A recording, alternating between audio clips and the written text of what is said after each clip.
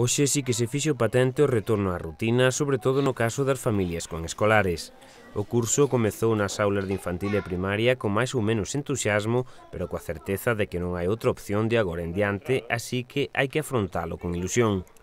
Algo máis de 600 rapaces e rapazas iniciaron hoxe o curso nos centros educativos da comarca de Chantada nunha xornada que transcorreu sen especiais incidencias. Na vila do Asma, que concentra un maior número de escolares, moitos raparigos asistían hoxe 12 de setembro por vez primeira ao colexio.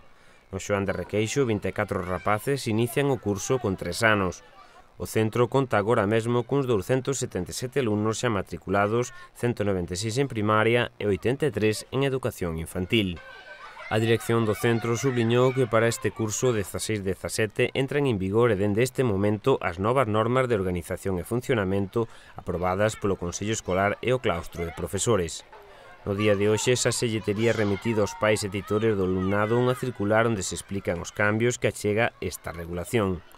Afectan, entre outras cousas, as entradas e saídas no centro.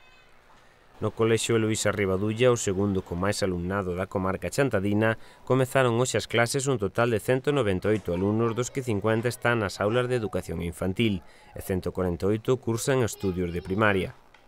16 nenos de 3 anos empezan a súa vida escolar neste centro este ano. No que se refire ao resto dos municipios da comarca, o Colexio de Taboada Santo Tomé do Carballo aglutina aproximadamente arredor dun cento de rapaces nas aulas de infantil e primaria, que foron as que hoxe se volveron encher de vida. Taboada conta tamén co centro para os alumnos dos primeiros ciclos de educación secundaria que polo momento prolongan as súas vacacións.